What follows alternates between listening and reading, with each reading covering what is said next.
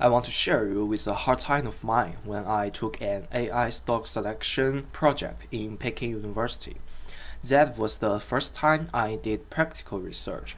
Since I have learned machine learning and many financial courses before, I had in myself.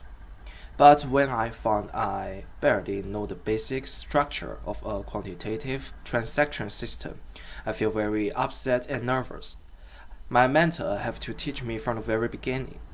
However, I carefully follow my mentor's guidance and learn a lot from other mature projects, and I finally finish my research.